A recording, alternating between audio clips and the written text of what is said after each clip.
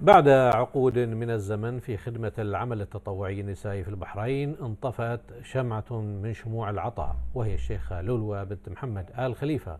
التي رحلت تاركة نورها مضيئا في سماء إنجازات البحري المرأة البحرينية. وكانت الشيخة لولوى قد قدمت العديد من المبادرات والإنجازات في مجال العمل التطوعي والنسائي لعل من أبرزها هو إنشاء جمعية الطفل والأمومة عام 1960 تفاصيل أوفى عن شخصية الراحلة الشيخة لولوى في التقرير التالي.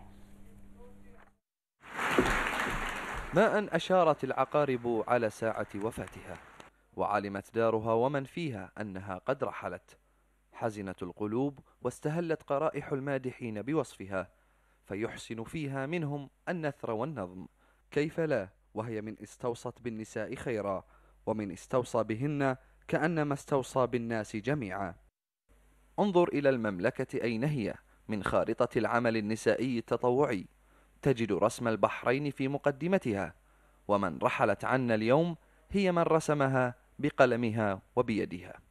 الشيخة لولوى بنت محمد آل خليفة ترحل تاركة تركة امرئ القيس للسموأل ولكنها ليست سلاحا وعتادا إنما حبا ووفاء وعطاء. معنا عند سيد نادي سيدات القاهرة. وأنا ما أفتكر في العالم العربي في نادي للسيدات. أنجبتها المحرق عام 1930 وكانت قد أنشأت ناديا للنساء كالذي كان في مصر.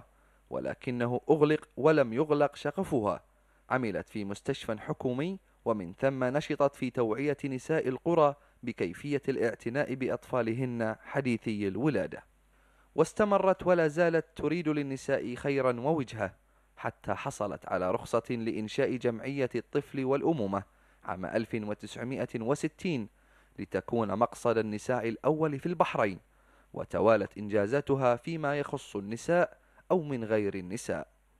جائزة نوبل للسلام نظرت إلى صحائفها من بعيد ودنت لها حتى رشحتها في عام 2005 ضمن خمس شخصيات نسائية بحرينية من ذوات الخبرة والعطاء في المجال الإنساني. استمرت ولم تقف وكرمت عدة مرات وفي العام 2010 كان لها ذلك التكريم من قبل صاحبة السمو الملكي الأميرة سبيكة بنت إبراهيم الخليفة قرينة عاهل البلاد المفدى كرائدة للعمل الاجتماعي والتطوعي في البحرين.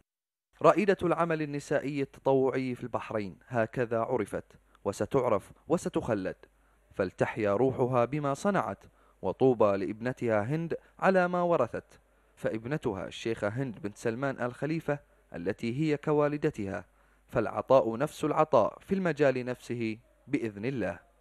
بسم البدوي لمركز الأخبار تلفزيون البحرين.